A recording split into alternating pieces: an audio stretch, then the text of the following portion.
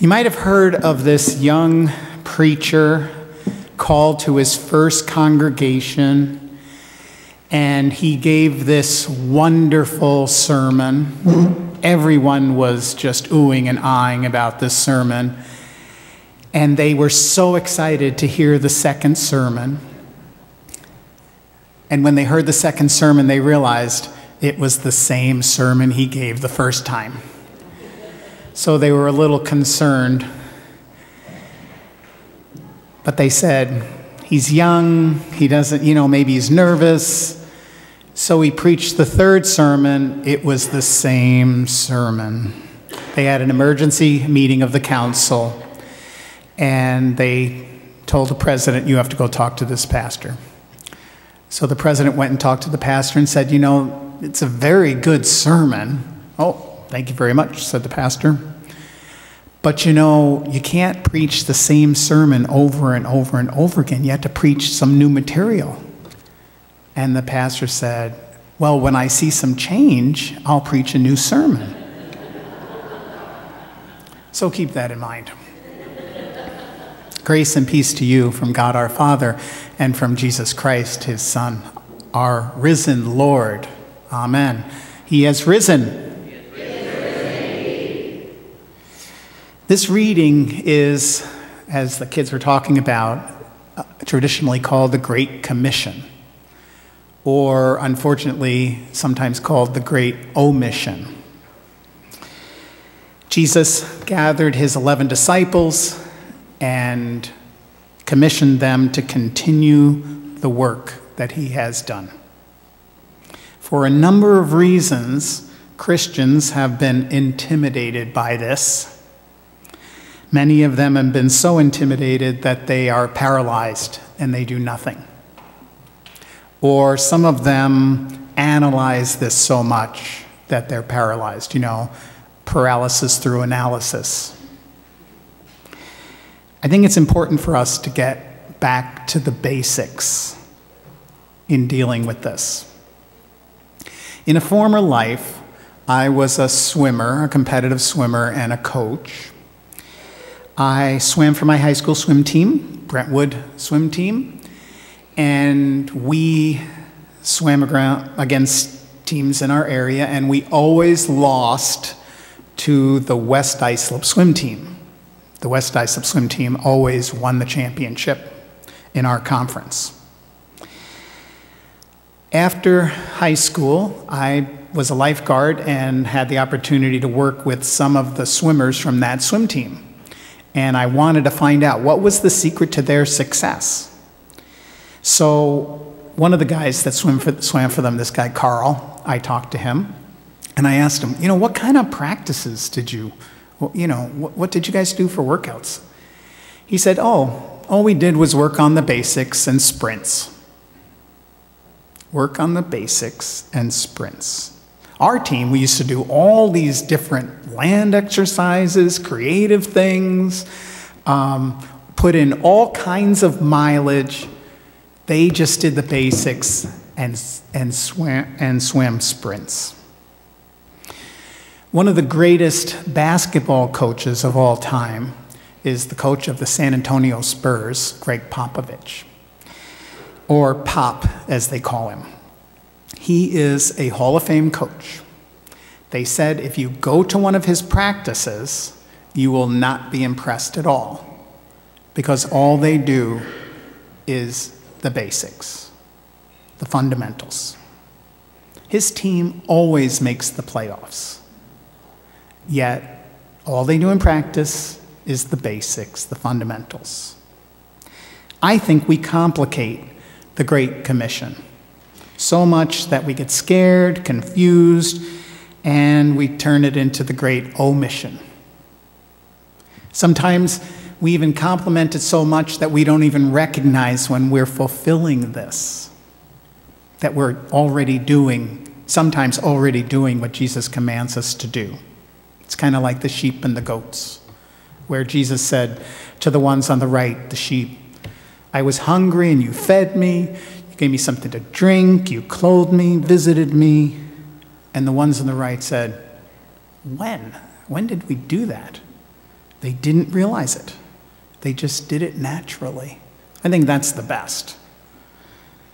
I think, um, as Marilee started off uh, explaining the worship backwards, I think it helps us if we look at this reading backwards. In the, at the end of this reading, Jesus says, And remember, I am with you always to the end of the age. We are not alone. We have the best wingman ever. We have the best helper ever. We need to remember that. That is so important. Jesus is with us. We don't do this alone. Next, he says, Teach them to obey everything that I have commanded you. This is key. Don't we complicate it? Don't we think, oh no, everything? I have to memorize everything. I have to memorize the whole Bible, all the commandments, all the verses, all the ordinances. No, you don't have to remember every commandment, every verse, every ordinance in the Bible. You don't have to be able to explain it or understand it or answer every question. Go back to the basics. You got this. You know, in Matthew 22, somebody came up to Jesus and said, What's the greatest teacher? Which commandment in the law is the greatest?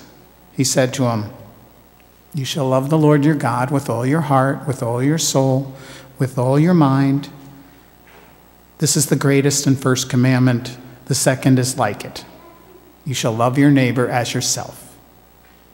On these two commandments hang all the law and the prophets. That's pretty much all the scripture to that point. All in the law and the prophets are from these two commandments. Jesus simplifies it even more in John 13. I give you a new commandment that you love one another. Just as I have loved you, you should also you also should love one another. Let's not complicate matters. Love others as Jesus loves us. It might sound simple. It is simple, but it, it's hard, but it's simple. Jesus not only loved those who loved him, Jesus loved those who worshiped him, but Jesus also loved those who doubted, those who hated him. Love one another just as I have loved you. You also should love one another. St. Francis said, Preach the gospel at all times, sometimes using words. In other words, tell people about Jesus at all times, sometimes use words. Live your life loving people through your actions, sometimes tell them with words. Sometimes you tell them that you love them because Jesus loves you. We've all heard of, I think, primarily fathers, good fathers. You know, not all fathers are good, unfortunately, but good, loving fathers who their children know that they love them. They have shown them, shown them that they love them through their actions, through the way they love them and the way they love people around them. But some of those children still need to hear the words, I love you. Some of them still need to hear the words even when they're adults. Sometimes, in some way, people need to know in words that God loves them. Of course, we don't force it down their throats, but in some way, letting them know that God loves them. Last but not least, I want to share a little Greek with you. Um, the word go, as in go and make disciples of all nations. The word go is often translated as a command, an imperative. That's why we use this reading, you know, to call and to send out missionaries or to call and send out pastors, which is great. But the Greek word here for go is a participle, it's not an imperative, meaning, under the conditions of going, make disciples of all nations. Under the conditions of going, make followers, students of Jesus. I like to translate it as you are going.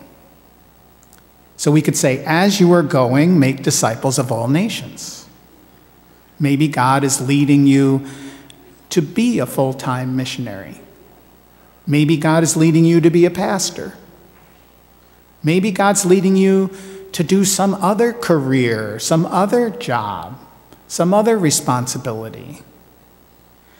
And maybe you're called to another city, another town, another country, or maybe right here in Red Wing. As you are going, make disciples of all nations.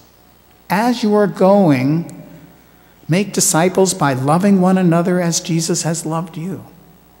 As you are going, wherever you go, whatever you do, love one another as Jesus has loved you.